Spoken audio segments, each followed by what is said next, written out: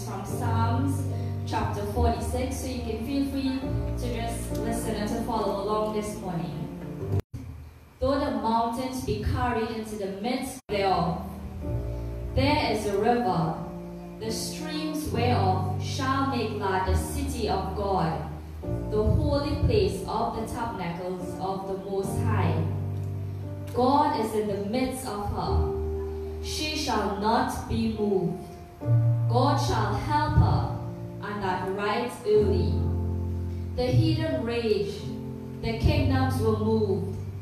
He uttered his voice, the earth melted. The Lord of hosts is with us. the God of Jacob is our refuge. Come, behold the works of the Lord, what desolations he had made in the earth. He maketh wars to cease unto the end of the earth. He breaketh the bow, he cutteth the spear in sunder, he burned the chariot in the fire. Be still and know that I am God. I will be exalted among the heathen. I will be exalted in the earth. The Lord of hosts is with us. The God of Jacob is our refuge. Amen. We thank God for the reading of His word and for those precious promises that we can hold on to because we know that God is not a God that lies, but He's a God that keeps His promises. At this time, we just want to sing all this song, Strength Will Rise, as we wait upon the Lord.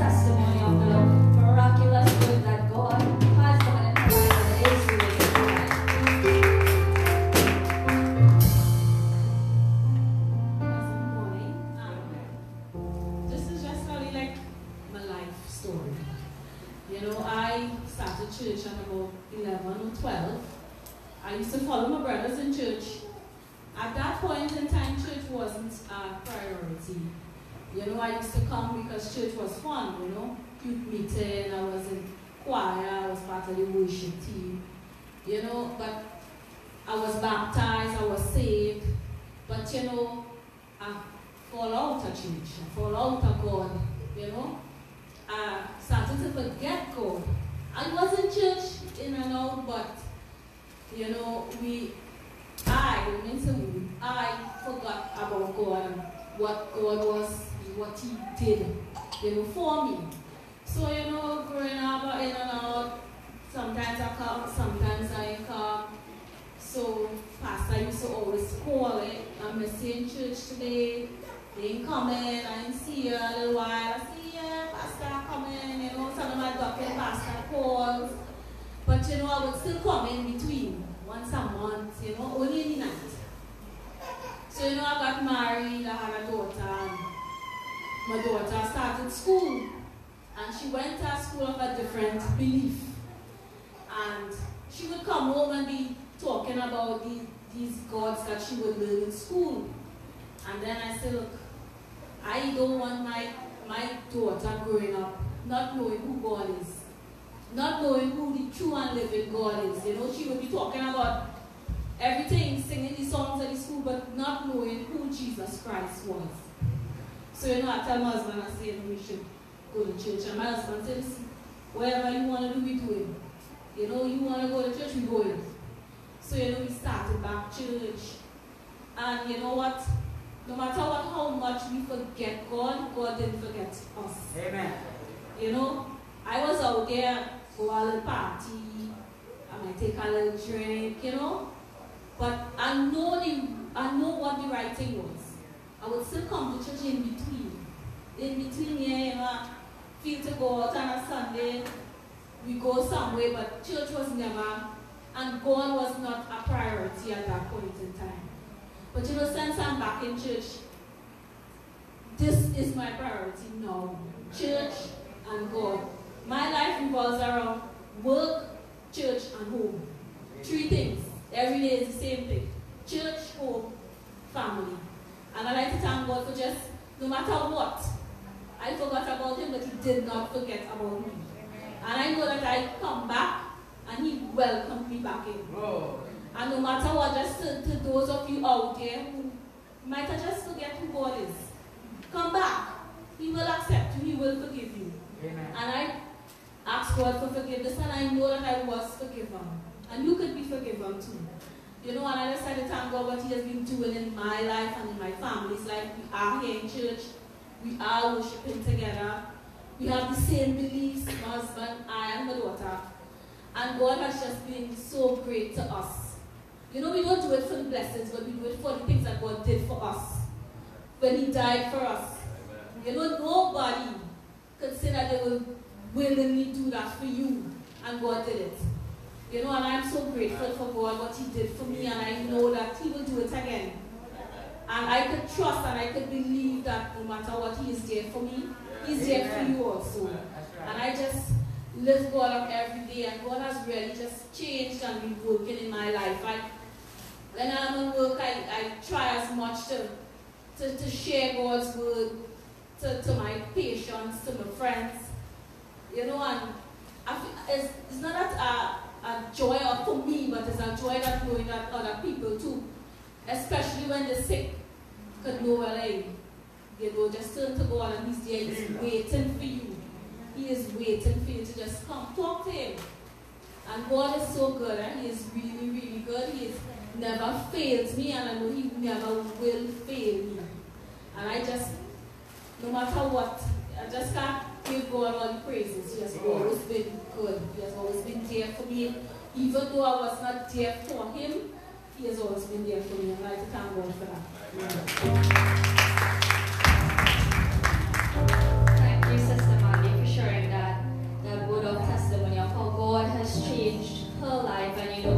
us so much. You know, He sent His only Son to die for people that may never love Him back. You know, that is the greatest love story that you would ever get. You know, and the great work that God is doing in Mandy's life is a testimony, you know, for all of us and for people all around that even though how far you're strayed, God is still there with open arms, waiting for you to come back to Him. At this time, to bless our heart with a special, we just like to welcome Sister Abigail. So let us welcome her morning.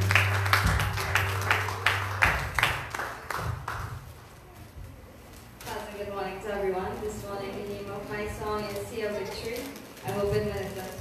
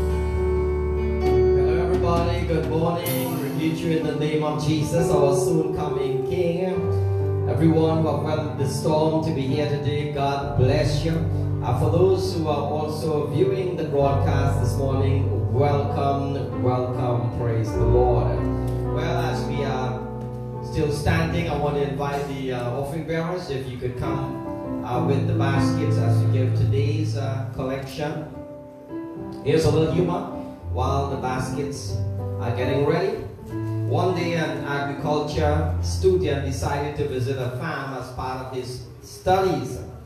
So the farmer treated him pretty well. So the student then began examining the site and said, uh, Your techniques are extremely old fashioned, he told the farmer. And I wouldn't be surprised if this tree gives you less than 100 apples. Well, the farmer smiled and said, You know what? I wouldn't be surprised either because that is an orange tree. Even our own eyes can deceive us at times, but God knows the truth. I think that humor went really good to what we're about to hear in the message dealing with um, dealing with deceptions. That's why we're praying as we give this morning's um, collection. So I'll ask you to hold it in your in your hand as we give thanks. Heavenly Father, with delight in our hearts and joy, we come before your throne and just thanking you, dear Father, in the, a world that is filled uh, with so much of uh, shortcomings and so much of pains and sorrows, brokenness. And uh, we thank you, dear Lord, that we can still gather into your house and we can worship the Lord and we can bring an, an offering and come before your presence with thanksgiving. Thank you, dear Lord, for everyone that is contributing today towards the kingdom of our Savior Jesus. We thank you, dear Father, for faithful uh, brothers and sisters or tithers, dear Lord, and uh, thank you, dear Father, uh, for everyone that stretched forth their hand to give, dear Lord. Whether, Lord, it is something uh, small in your eyes, dear Lord Jesus, uh, it can accomplish great things. Little things, Lord, you use. You use the, uh, the, the boy with just bread and two fishes, dear Father, fed, fed, you fed a multitude. Praise God. Hallelujah. We use what we give today, dear Lord Jesus, to bring praise and honor to your name in Jesus' name. Amen. In the name of Jesus, in the name of Jesus, we have the victory.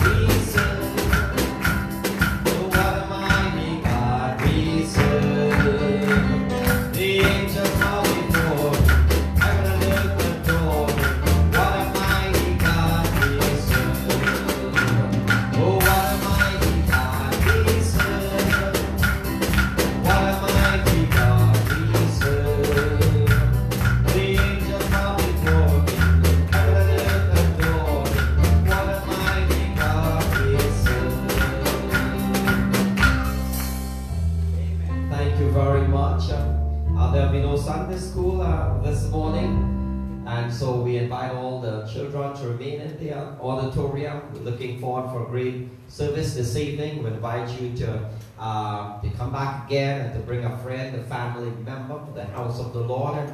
And our prayer meeting on Wednesday night, we're looking forward to that also. Youth meeting on, on Friday, Men and Women Fellowship, the third Thursday of this month. As you all know, that tomorrow uh, the nation is heading to the poll. We're going to have a special prayer for that.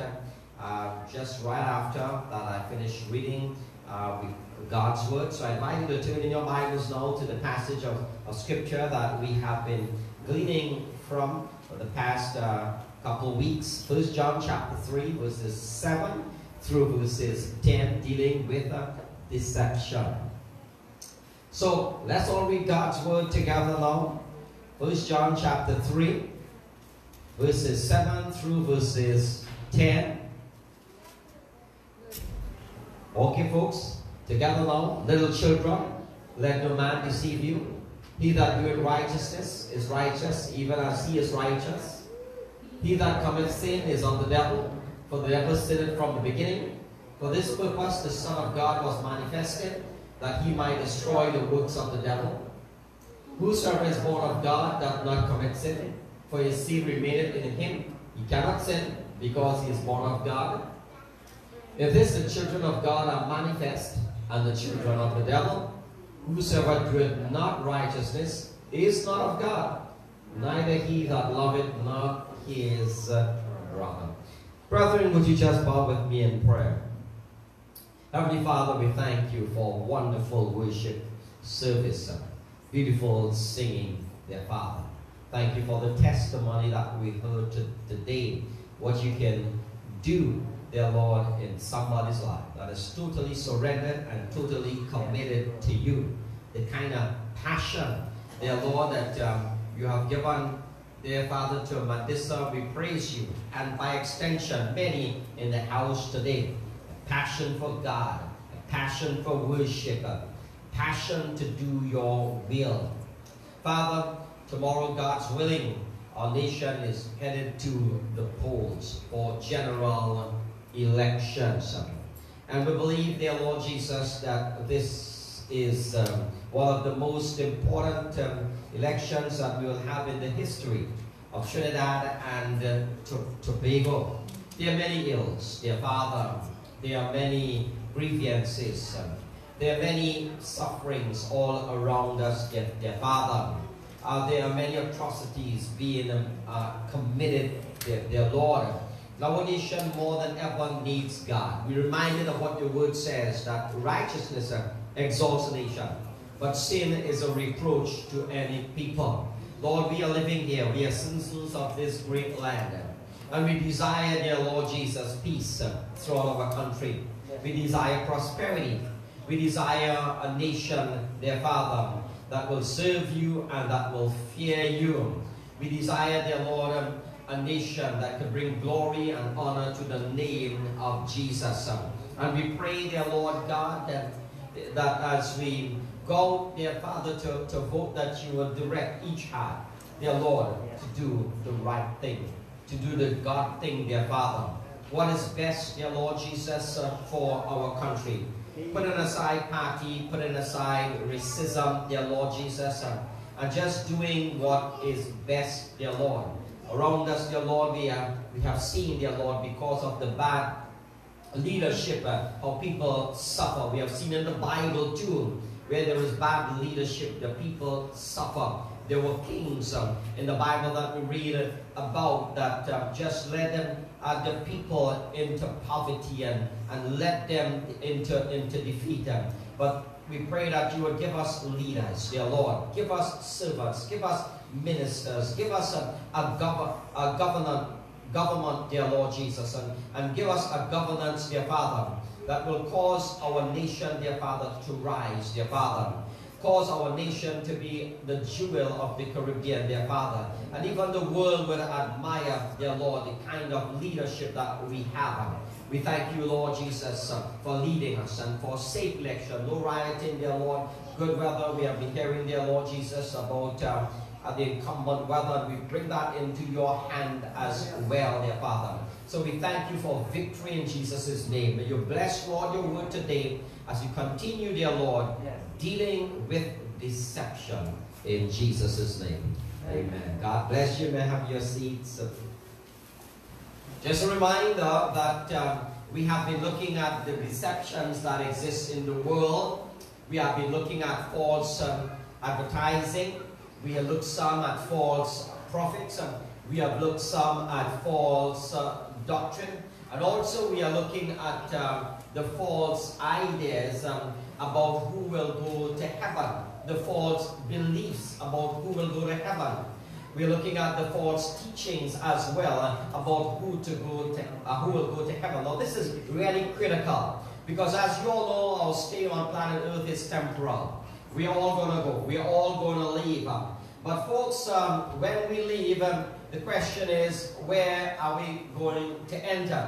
The Bible tells us there are only two entries. I want to be very, very clear. As you all know, I don't preach what I want to preach, I preach what God's word says. Can I hear amen, amen. somebody? Praise God. And I know you people, you want to hear the truth. Too much of lies around us, too much of deceptions. Uh, we want to hear the truth. Um, and Jesus spoke the truth. And Jesus made it very clear. The only two entries uh, that there is after we leave this world. One is an entry into the kingdom of God, and one is entry into the kingdom of darkness. And the Bible makes it very clear, folks, that entry in the kingdom of God, it is only through our Savior, Jesus Christ. So do not be misled. The Bible tells us in our verse 7, do not be misled about righteous righteousness. I closed last week by uh, reading to you a passage of scripture and I want to just remind you of this passage because uh, you will see from God's word who will go to heaven and who will not go to heaven. 1 Corinthians chapter 6, I invite you there uh, to turn up. 1 Corinthians chapter 6, verses 9 through verses uh, 11, reading from Don't you realize that those who do wrong will not inherit the kingdom of God? Don't fool yourself. Don't be deceived. Those who indulge in sexual sin or worship idols or commit adultery or are male prostitutes or practice homosexuality or thieves or greedy people or drunkards or abusive or cheap people. None of these will inherit the kingdom of God. But pay attention to verses 11. Some of you were once like that. Paul was addressing the church in Corinth and by extension says, But now you are cleansed. You are made holy. You are made right with God by calling on the name of the Lord Jesus Christ and by the Spirit uh, of our God. So again, Paul is saying, do not be deceived or do not fool yourselves the wicked will not inherit the kingdom of God. So people who are saying that everybody will go to heaven, uh, folks, uh, it is just not so. The wicked will not inherit the kingdom of God. Notice in the list um, that Paul mentions also about male prostitutes. He mentioned uh, about uh, homosexual offenders. We are hearing so much about the gay rights today. We're hearing about lesbians and we're hearing about homosexuals. Um, but we are told that homosexuality must be recognized um, as an acceptable lifestyle. They are telling us and we are hearing that after all, um, whatever goes on in a person's bedroom or in a person's personal life um, is their business. son. But folks, I want you to reconsider your position. Whatever goes on uh, in your bedroom, whatever goes on uh, in uh, your private life, whatever goes on in your public life as, as, as well has an eternal consequence on your soul. So think about it today. When we are saying that there is no consequence, um, that is not the case. Uh, there is a consequence. Uh, and that consequence is that we can miss our ticket to heaven. That confidence, we can miss uh, our flight uh, to heaven, somebody. That's a serious consequence today. The wicked will not inherit uh, the kingdom of God. The Bible is straightforward. The Bible, folks, does not leave us in darkness or even uh, one wondering. The Bible simply says uh, that no one who practices sin, immorality, idolatry, adultery, male prostitution, homosexuality is going to heaven. That is pretty straightforward. Folks, uh, we got to listen to what God has to say because we will be misguided by so many false prophets out there and so many opinions that we have. Um, but when it comes to enter into God's heaven, into God's kingdom, God has set the rule. Praise God. Amen. God has set the standard. Man says, let us lower the standard. It is too high. But folks, uh, you cannot lower the standard of God. Um, God has a standard and he demands holiness. The Bible says, without holiness, no man will see the Lord. So you might want to bring down the standard of God, but folks, it is not going to work. The wicked will not inherit the kingdom of God. So it brings the question then this morning, who is going to heaven? Have you wondered about that? Have you wondered about your friend that you have? Is your friend going to heaven? Have you wondered about your neighbor? Is your neighbor going to heaven? Have you wondered about your children? Is your children going to heaven? What about your spouse? Have you wondered about your spouse? Is your spouse going to heaven? What about your parents? What about your grandparents? Have you ever wondered if they are going to heaven?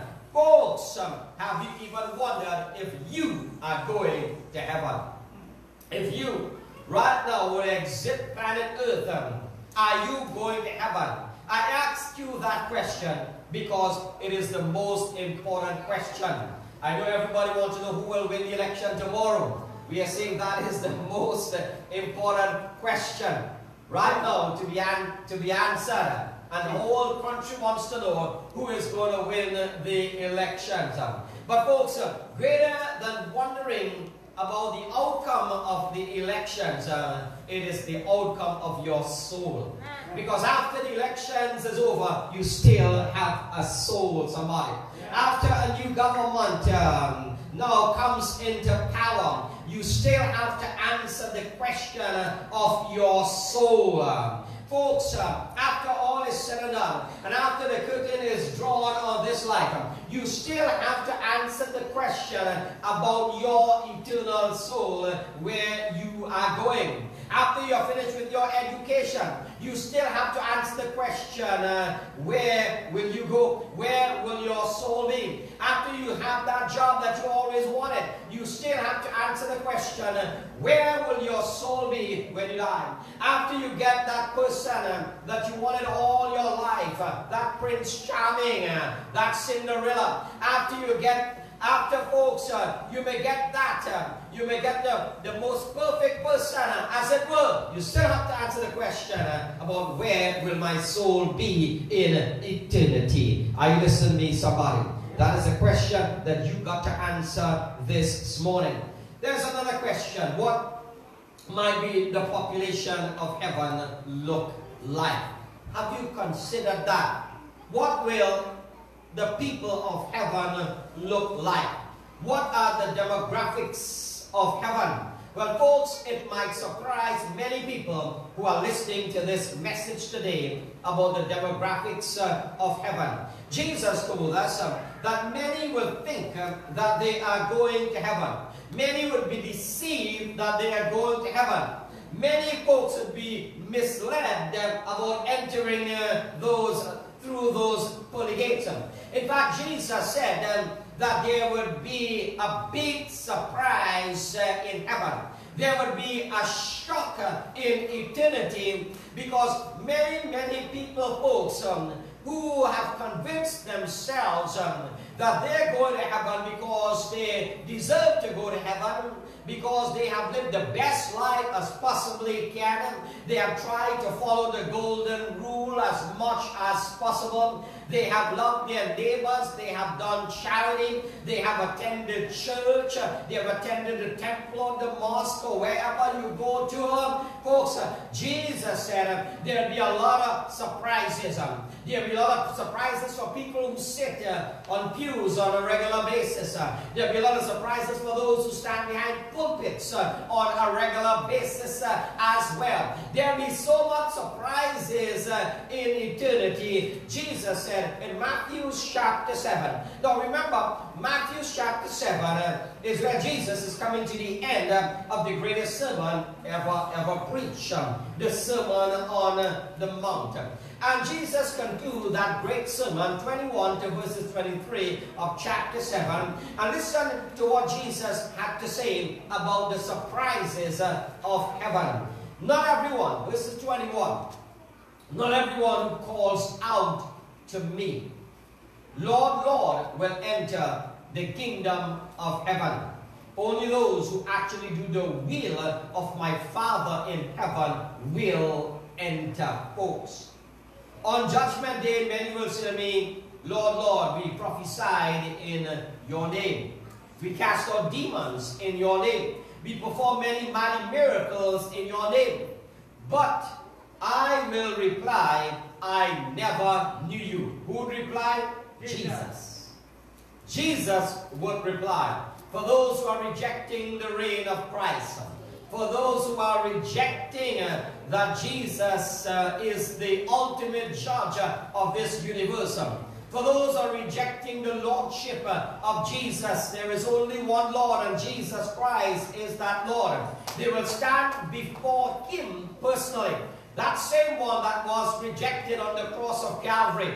That same one that said, crucify him, crucify him. He is a blasphemer. That same one, folks, um, that they nailed on the cross, um, that same one they will stand before in eternity. That same one that they spat upon him. That same one that they buffeted him. That same one that they rejected him. That same one they will stand before on that day. And listen to what Jesus would say. I never knew you. Get away from me, you break God's law. So do you think, folks, uh, that not obeying the law of God uh, has no consequence whatsoever? Do you think you can break God's law and not pay the price or pay the punishment? Today we have so many laws in our country. Something is very draconian, something is very harsh. We have laws now that, um, in, uh, that tell us that traffic laws, um, you know, uh, where you are fined an enormous amount of money, where points is taken away from your license, and we realize today how serious now the laws of our country is. We just can't fool around anymore. You got to put on that seat belt. Come on, somebody. You got to obey the signs on the road. You just can't take the shoulder like a madman and head down the road. No. You just can't go in into a, a, a road that says no, no entry, folks. Um, you got to obey the laws of the land. Otherwise, uh, you have people that are posted all over. And then you have now the watchman, the camera, who is going now to man folks, the, the, the, country, and tickets are being issued by the thousands and thousands of tickets are being issued somebody, and then you run the risk of losing your driver's license or having it uh, suspended. Do you think now that you can ignore the laws of our country? Think again, uh, folks. Um, there is somebody that is ready there, folks, uh, to implement those laws. Uh, they will not be taken for granted. The laws will not be ignored. The laws must be obeyed. And if we are so strong on earthly laws uh, that have little of, it, of an eternal consequence, have little consequence uh, of your soul, um, how much more should we be careful to obey the laws of God uh, that has an eternal consequence? Um, we are so very careful today, folks, um, to put on masks, to observe social distancing. Now we realize the seriousness of the matter. That many people now are making sure that they are sanitizing. They are welcoming these protocols because you realize the seriousness of the matter. We are talking about having a physical consequence. You can become ill. You can be hospitalized. You can be quarantined for 14 days, as the case might be. And God forbid, you could even lose your life uh, because of this. And now, folks, you see the seriousness of the matter that we are all observing these protocols because why? Because we want to live. That's why we are doing it. We want to live. Folks, what God is saying, if you want to live beyond this life, and if you want to live eternally, and if you want to live in heaven, you got to obey His laws. His laws are there, folks, for your well-being for your eternal soul. God laws are there so that you would make it to heaven and you will not go to hell. This is, you might say, God is too harsh. Why can't I do as I please? Why can't I live as I please? Why can't I just have a good time? It seems that all this Bible is about is just keeping me from having a good time. This Bible is a problem book. Many people view this Bible as the enemy. Many people view the Bible books as God is just cheating them and God is robbing them of having a good time. They could have such a good time. They could life could be so much fun. Life could be so exciting. But this Bible is just a bummer. The laws of God just takes away my rights and my freedom as an individual. And even now the devil is working folks uh, now to take away the laws of God. Uh, that is what the devil is up to because he knows uh, the only thing will save this world, it is the law of God. Uh, where God says, uh, repent uh, and believe in Jesus Christ that you might be saved. Praise God. Devil is doing everything, folks, to disannul the, the law of God, to make it of no effect. But I want to tell you, the only thing that will save us on the day of judgment, uh, folks, uh, is the Word of God. Do not ignore the Word. It is for your own salvation, praise God. Do not ignore the preacher that is preaching the Word. Do not shut off your television. Do not refuse to come to church because the preacher is preaching the Word of God. It's the only thing that will save you uh, and save you from eternal destruction. Give him praise. What Jesus was concluding in our text is that um, eternity in heaven is more than just lip service or outward expressions or religious duties or works of, of the flesh. No, what Jesus is saying uh, is that one must have a personal experience uh, with God. And Jesus told Nicodemus, you must be born again. Otherwise, you will never enter into the kingdom of God. We think about the born again preaching is old fashioned. Very rare do you hear about being born again anymore. He says that was old fashioned. That's old thing. But folks, I want to remind you that uh, the Bible, yes, the Bible is centuries, years uh, old but still it's the only book that is truly relevant in this world today. I want to tell you something. If you place your faith in any other book, you will be disappointed. In fact, I want to guarantee to you today, folks, that all the books and all the libraries of the world today, regardless to what those books are, religious books, folks, um, books of great science and great studies, and great education, uh, folks, um, all those books um, would be discarded. All those books would be burnt. Um, but the word of God would endure forever. Jesus said, Matthew chapter 24, verse 35, Heaven and earth shall pass, but my word shall not pass. You might do away, folks, with this Bible because it is paper, as it were, folks, and it is, it is ink. But I want to tell you something. Glory to God. You cannot do away with the Word of God itself because Jesus is the Word of God.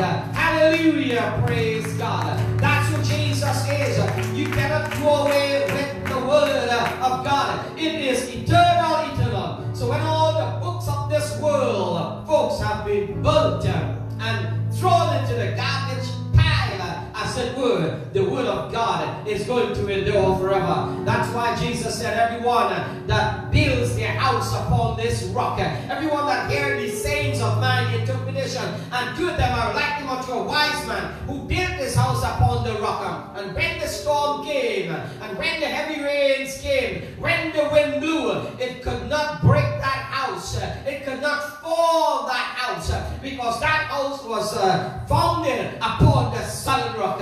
Jesus is that solid rock, folks. If you're looking to build your life on something, if you're looking to build your life on somebody, then Jesus Christ uh, is that life. Uh, Jesus Christ uh, is that rock. Give him praise. Hallelujah. When Paul was writing to the church in Corinth about about righteousness, about, about holiness, and about unrighteousness at the same time. If you went to that church, you might find yourself being seated next to a former homosexual. If you went to the Corinthian church, you might find yourself sitting next to a lesbian. Because the Apostle Paul lists a lot of sins. If you went to the Corinthian church, you would find yourself sitting next to a bandit, or a thief, or an adulterer, or covetous person. You might be sitting next to a slanderer. You might be seated next to an immoral person, perhaps even an idolater, because there were so many idols in the city of Corinth. There were all kinds of gods there. They all were there. They were all, all there. Those people that practice all kinds of sin, all kinds of orgies, they were all there. But Paul says that's who they used to be. They are no longer those persons anymore. Praise God. Amen. Why? Because they have been changed. Praise God. They used to be idolaters. They used to be fornicators. They used to be adulterers. But the Apostle Paul says, no, they are not so any longer. Now they are changed. Now they are washed uh, in the blood of Jesus. Uh, now they are cleansed. Uh, now they are made holy. Now they are made right. Um, through Jesus Christ.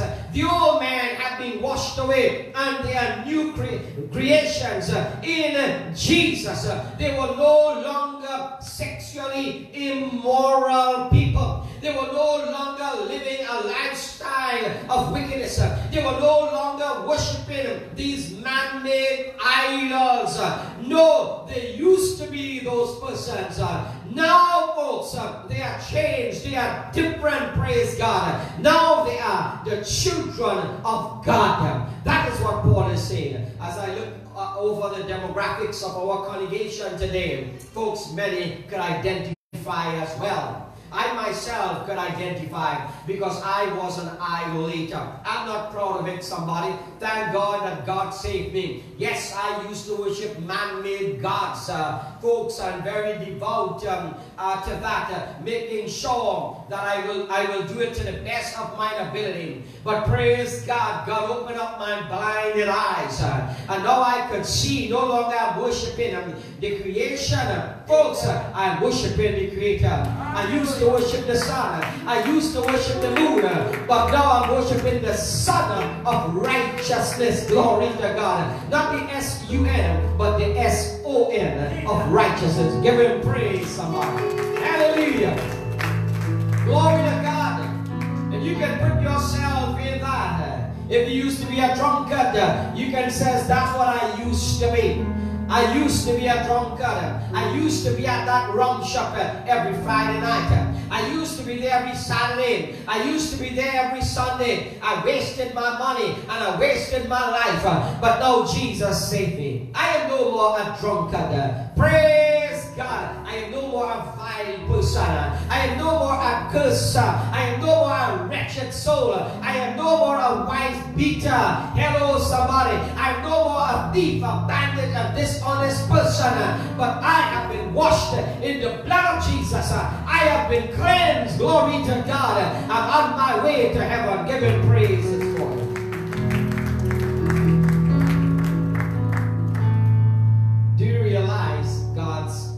power? There is no power in comparison to the power of God. Not in all this world. This world claims to have so much power, one nation over the other. I have more power over you because I have more weapons. I have more ammunition, as it were. I have more artillery. I have more bullets. I have more tanks. I have more people. I have more money. I have more wealth than you. And I am powerful. Oh, I am all powerful, folks. But I want to tell you something. There is no power compared to the power of God. When this world's ammunition comes to nothing, when this world guns comes to nothing, folks, when this world bomb comes to nothing, and when the armies of this world comes to nothing, folks, uh, the power of God uh, will continue on forever and ever and ever. Praise God. You cannot match the power of God. Pharaoh thought he thought that he could fight against God. He thought that he could keep the children of Israel in bondage for as long as he wanted and keep them as slaves and work them uh, until they die in the mud pits, uh, making bricks for Pharaoh and making uh, bricks for his cities that he built them. He thought that he will have them forever. He thought that he will abuse them. He thought, folks, that uh, he will take advantage of them forever and ever. But I want to tell you something. Jehovah came in, came in and said, Listen, it is time for deliverance.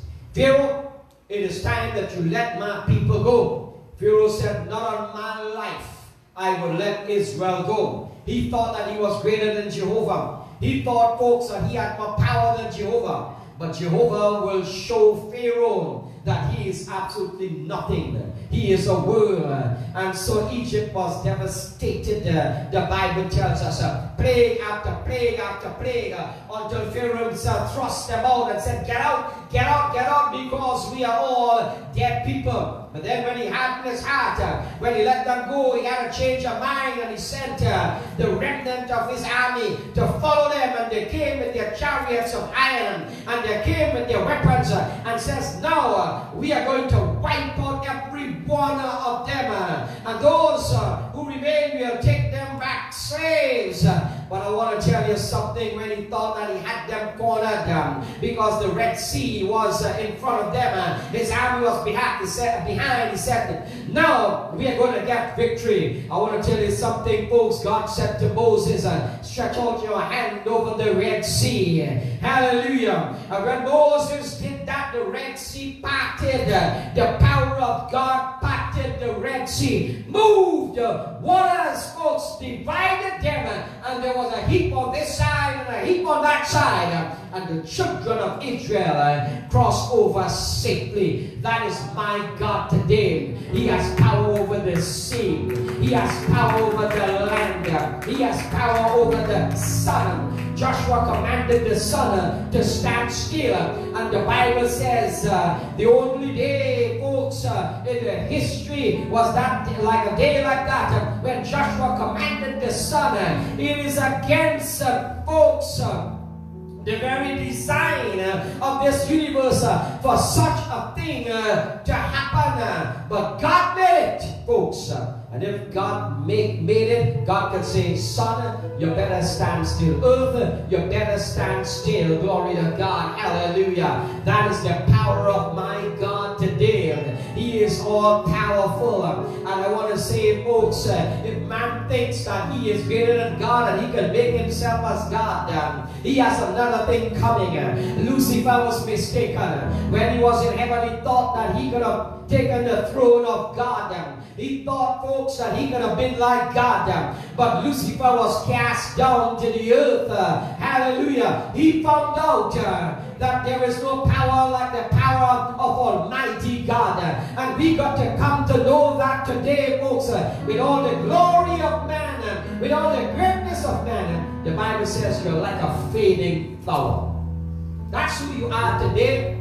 You're like a fading flower folks, uh, with all the might that we have, and all the glory that we have, and all the wealth that we have, uh, and all the education, the status that we have, uh, that today we can stand up and boast. Um, today we can stand up and brag. Um, today we live as we don't need God. In fact, we don't want God anymore. We live to ourselves. Uh, no better than the people of Sodom and Gomorrah are we, folks.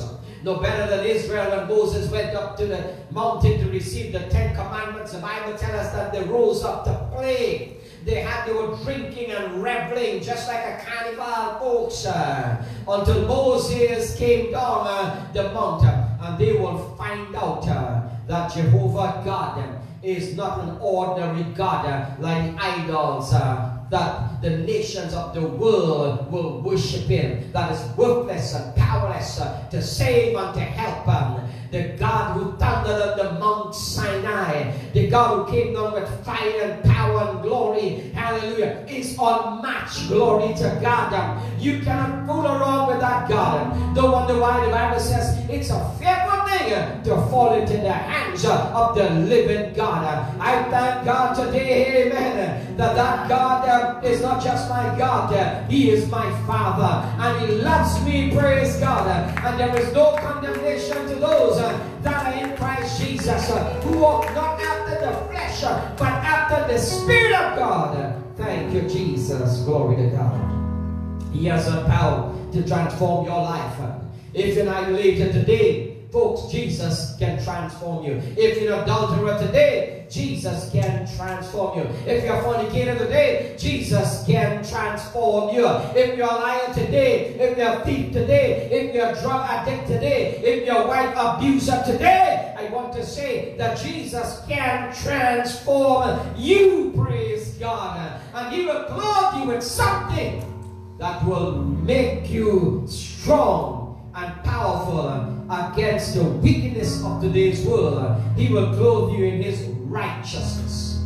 This is what our text is telling us. Glory to God. Amen. That's why the Bible says he cannot sin. Because why? It's because he has been clothed in the righteousness of God. You see, God gives us his protective armor as a child of God. Look at Ephesians chapter 6, verses 14. Ephesians 6.14 says, Stand firm in the faith. With the belt buckled around your waist. Amen. Did you come with it in church this morning? Glory to God. Some people have a, you know, a, a, a, what you call it, a, a 39 buckle around their waist. You understand? Some have a knife buckle around their waist. Mm? All kind of thing they have buckle around their waist. Folks, you're looking to put something on your waist, glory to God. What, how about the breastplate of righteousness, the Bible tells us? Praise God. The belt of truth walking around your waist, the breastplate of righteousness in place. It covers, um, folks, not just the outward man, but it covers the inward man. It covers the soul, praise God. The breastplate of righteousness helps protect us against the attacks of the devil. You say, Pastor, how can I acquire the breastplate of righteousness? You got to join the army of the Lord. Amen. Praise the name of Jesus. Praise God. You got to be part of the army of the Lord.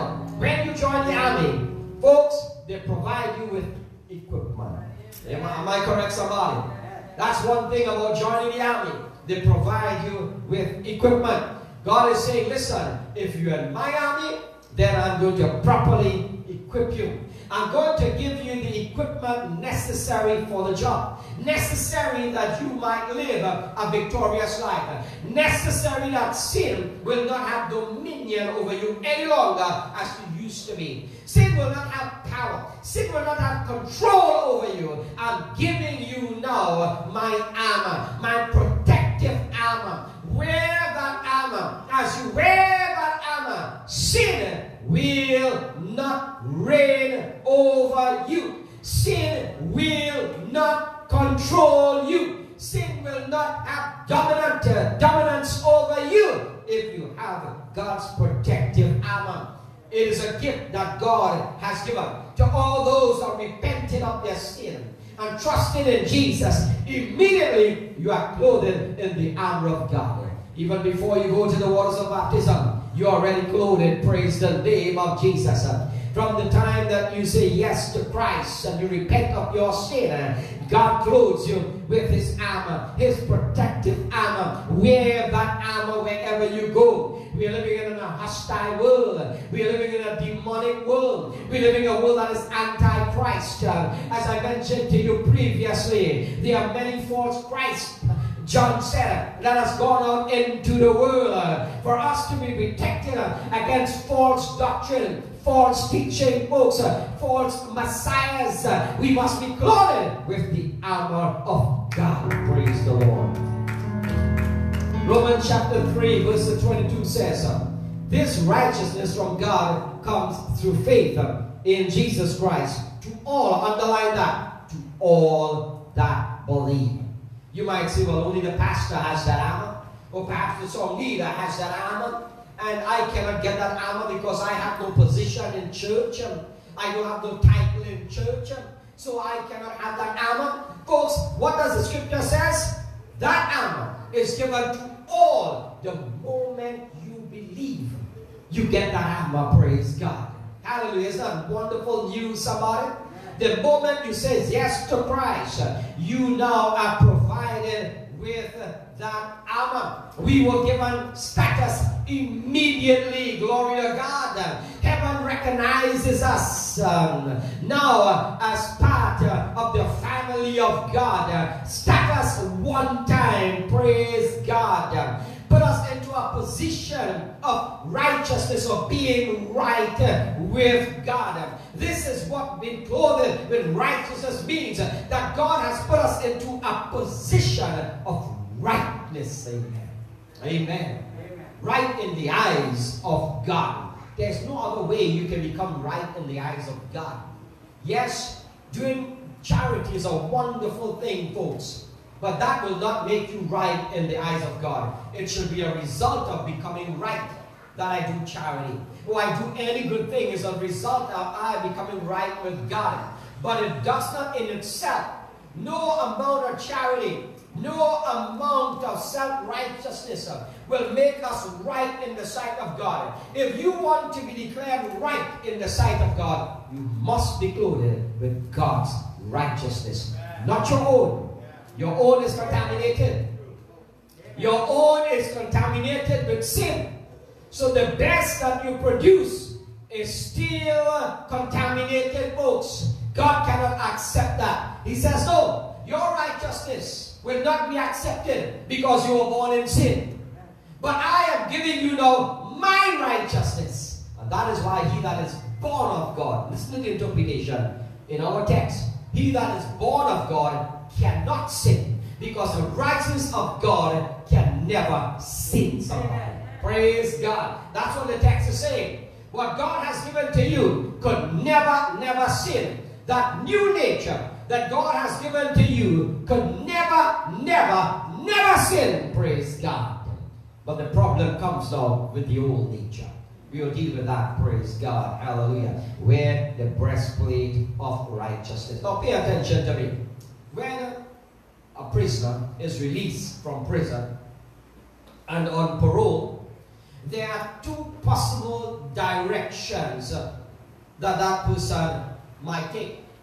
One, I have been given an opportunity to live a new life, to live a different life, to live a changed life. That's opportunity that has presented itself to me. That person has that right. That person has that privilege to take that road. That I am going to live differently because the way that I lived before landed me in prison, landed me in jail. And so I've been given an opportunity now to do the right thing. That's one opportunity, folks. The other one is that person can uh, decide I am going to return to the old way of life. Folks, it is the same thing today. We have been given choices even as Christians and even as believers in Jesus Christ. When Jesus saved you, you have a decision and a choice to make yet still because God, after He saved you, did not make you a robot. And this is why, folks, we have plenty problem in the church. This is why, folks, that you have many people today not living the life that they're supposed to live. Folks, and they are called to live, and they are chosen to live, and they're destined to live because uh, you have a choice to make after you trusted in Christ. Whether I am going to live the new life now, or I am going to live the old life. You have that choice and decision to make. But just remember, there are consequences, folks, that will follow our choice. Choices. Satan is the accuser.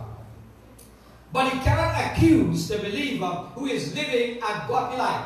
There is no accusation against a godly person who's living a godly life.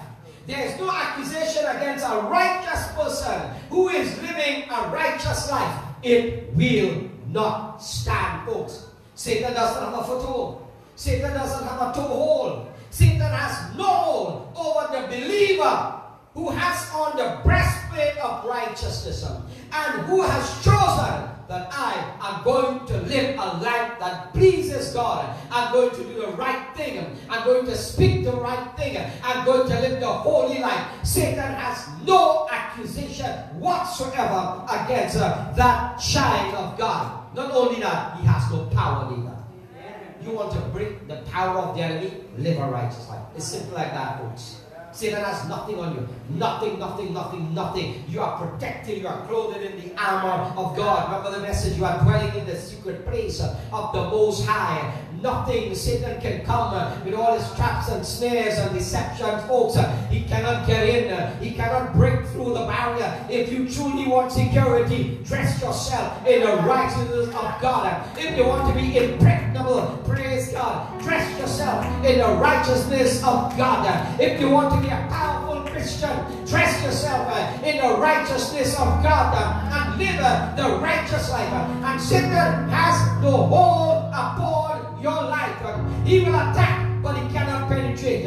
He will send and fly his arrows, but they will not harm you. They will not hurt you. He will bring his pestilences and his plagues, but the Bible says no plague will come near thy dwelling. Because why? Because you are dressed in the righteousness uh, of Jesus Christ. Uh, you are impregnable. Uh, you are like a fortress. You are shielded. God has hidden you, as it were, like mosquito repellent. You know what, what it is repellent is something that repels the mosquito, but how is it designed? You see, it makes you invisible. The mosquito can't see you.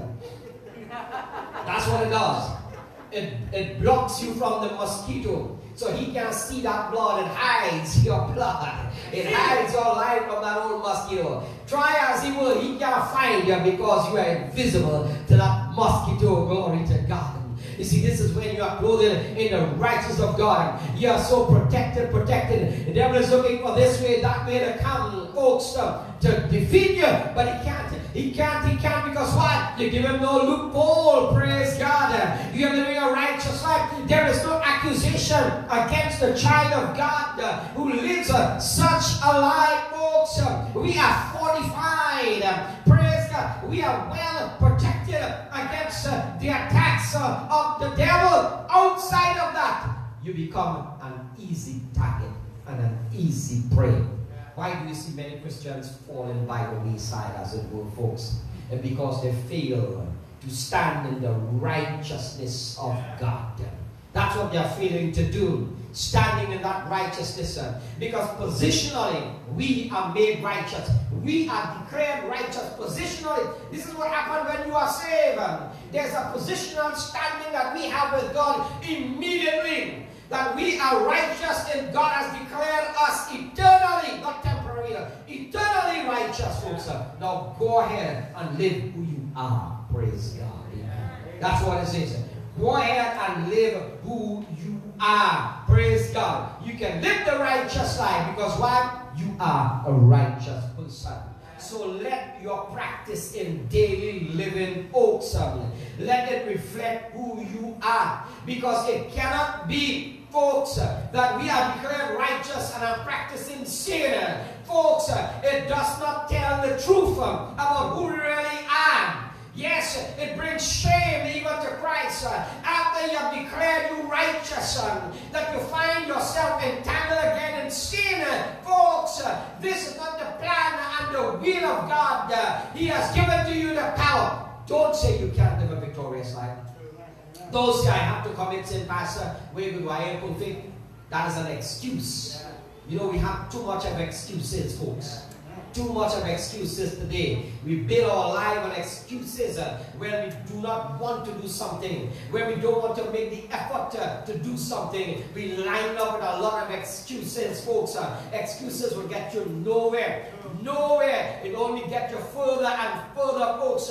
Begin to live who you are. God has declared you righteous. You are righteous in the eyes of God. Now go live out as a son and a daughter of righteousness.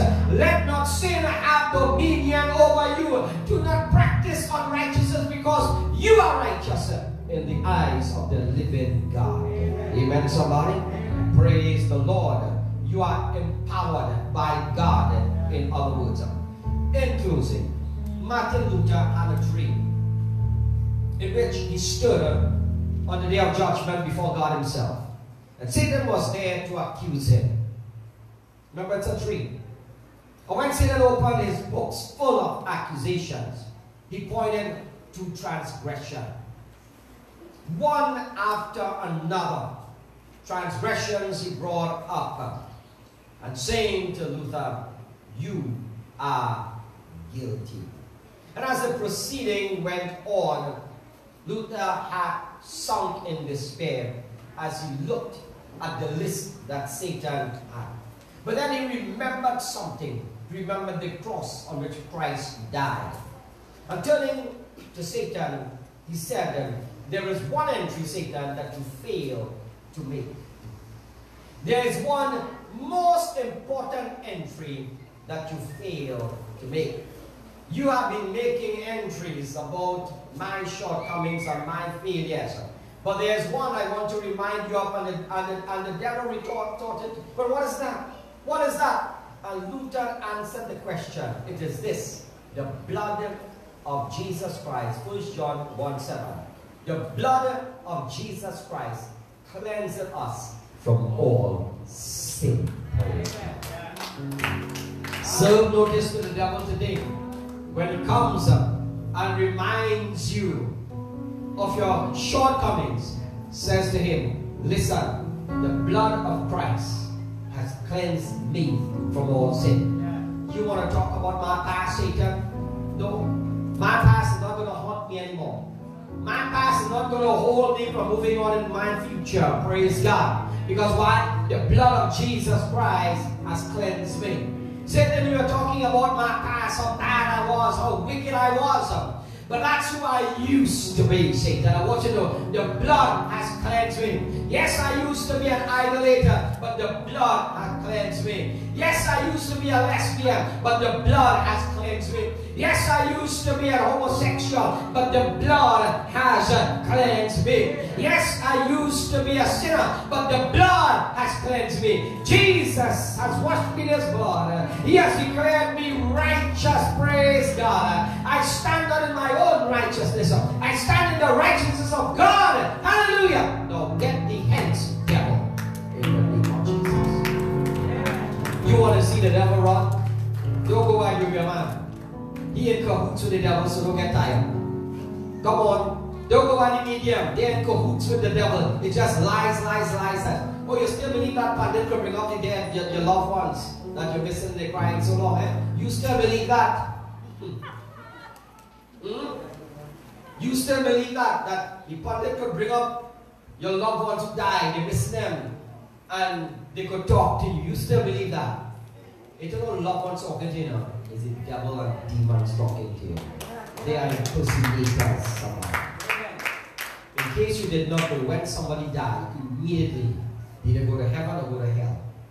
No pandit, no pastor, no priest can bring them back to talk to you, brothers and sisters. Only God has Amen. that power. Only God has the power to raise the dead folks and to call those things that are not as though that they were, work. Only God. No man can do that. So don't waste your money. Folks, don't waste your time. Deception after deception after deception. Our world is filled with deception. But Jesus is the truth. Amen. What does he says in John chapter 8, verses 32? You shall know the truth, and the truth shall set you free. Glory. When I was a little boy, they insisted that the pandit came by my my my uncle's house. They insisted that I had to go and get my patra ready. For those of you who don't know what your patra is, is where they read your hand. They look at the lines in your hand and they read your hand and say, well, this is your life story. Your life story is in your hand. But folks, I want you to beg different today. Your life story is not in your hand, it is in God's hand. You see this hand here? Be careful, folks. Be careful, glory to God. And so I went because that's who I was before. Before, but not after. I came to know Jesus. Amen. Now that I know Jesus, I don't tell nobody to read my hand anymore. Glory to God. Folks, when I want to know about my life, I go to God's Word. And I see my life in God's Word. I've seen all things are passed away and all things have become new. Praise God. I see that I was a son of the devil, but now I'm a son of God. Glory to God. I see I was going to hell, but now I'm going to heaven. Praise God. I see I was a child of darkness, but I'm now a child of light. I see once I was a slave of righteousness, but now I'm a servant of the living God. Praise I go to uh, the Bible. I will never be misled. I will never be misguided. I will never be deceived. This is the eternal word of God. I stand on this word. Praise God. I preach this word. I stand on this word because it is everlasting. It is God's word. Thank you, Jesus. Thank you, Jesus. So when you buy a Chinese food and they give you a fortune cookie, lies, lies, lies, lies. You're going to build your whole life on your day on a fortune cookie you get in a Chinese restaurant, folks. And they themselves and know what coming to them. Eh? They don't know what coming to them, folks. And you putting your trust in a fortune cookie, somebody. Hmm? You want to put your whole life and your future in a fortune cookie. Folks, come on, somebody. Think more wiser than that, folks. You want to put your life into a man to read your patra, and he can't even read his. Somebody. He don't even know his. What is coming to him. Amen. Many people go to these people for help, and they even can't help themselves. Somebody. Come on. They have more problems than anybody else. More problems. Recently we heard one of them even hang themselves. And yet, seeing about everybody else's problem, folks, and yet overwhelmed by his own problem. No salvation, no hope, total hopelessness. Why don't you put your life in the one, folks, who gives us an eternal hope? Praise God. Who gives us want to give us eternal life. Jesus Christ, glory to God. He is life. Praise God. He is life. Those that follow will never be disappointed. Those that follow will never stumble. Never, never, never, never. And never folks would you ever be disappointed. I say to you, members of Power and Signs Ministries, to those of you all who are faithful, and those of you who make sacrifices. Uh, I admire some of you. I admire Luana, I admire Kamika, I admire those I mean, you have all these children.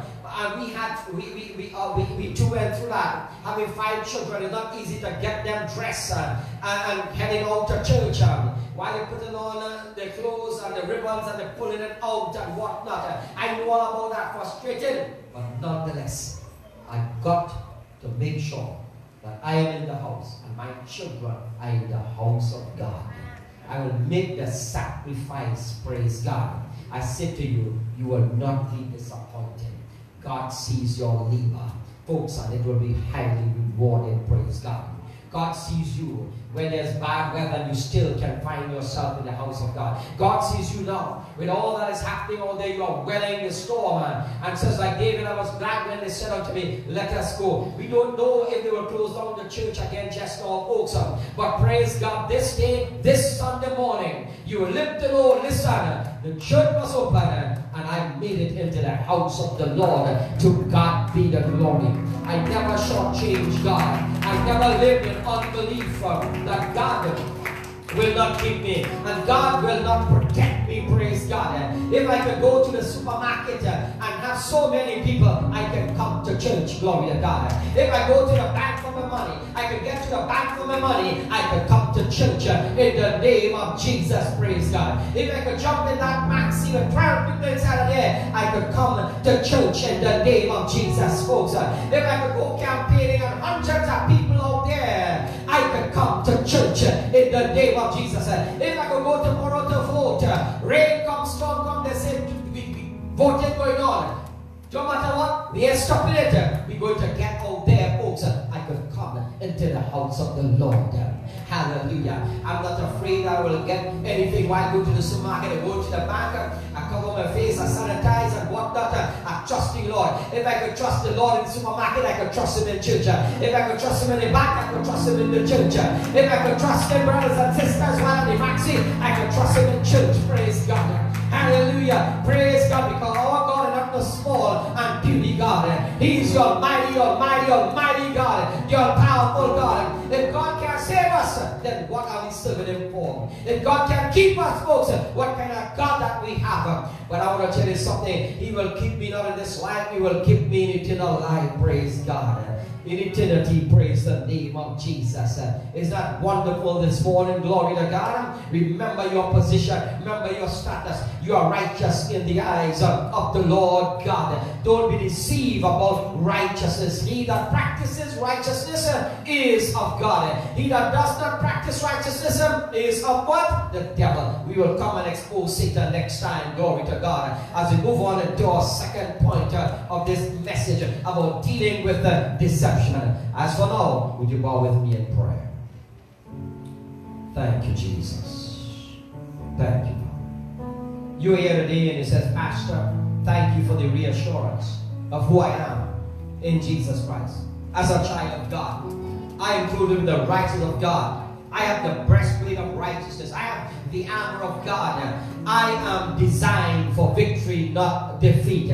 I am equipped for victory, not defeat. God has equipped me properly, properly, properly. God has equipped me, praise God. And I'm not the victim in this world, I am the victor in this world, praise God. Hallelujah. Sin cannot have over me, They cannot have dominion over me because God uh, has clothed me in His righteousness and provided me His armor, praise God. I'm deemed to live this way, glory to God. But maybe you are here listening and you said, Pastor, I have not been clothed in the righteousness of God because I have never accepted Christ as my Savior. Would you say this prayer right now? Heavenly Father, I accept Jesus. I accept the blood atonement of Christ on the cross of Calvary. I accept redemption through His blood. I accept uh, what Jesus did on the cross of Calvary for an atonement for my sin. And I acknowledge my sin. And I repent of my sin. And I ask forgiveness. uh, And I receive Christ as my Savior. Thank you, Lord, for clothing me right now with the armor of God. And with the breastplate of righteousness. Now I'm equipped. Now I am designed. Now I'm empowered to live a victorious life. Sin will have no dominion over me. The devil will have no dominion over me. Because why? Because Father, you have now equipped me with your righteousness, with your holiness. Uh, praise God. I have inside of me the power of God uh, that can conquer the power of sin and the power of the flesh and the power of the devil. Father, thank you for saving me. Thank you for equipping me today in the name of Jesus. Amen. Amen. You have said that prayer. God bless you. Send us a message. Do we have any prayer requests for this?